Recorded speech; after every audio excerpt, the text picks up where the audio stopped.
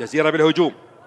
حسين عبيدات يمر والآن علي علوان علي ومتابعة وهناك هناك هدف هدف لمصلحة فريق الجزيرة.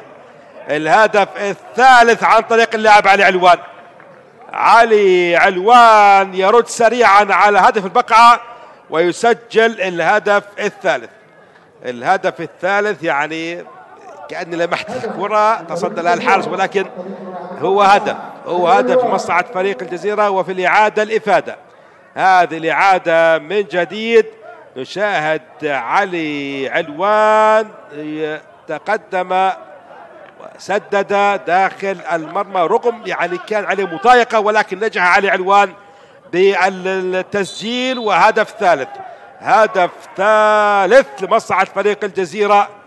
رغم الدفاع في اللقطة الماضية نشاهد التمريرة من أعتقد من حسين عبيدات والمتابعة تأتي من علي علوان اللي ساهم في هدف.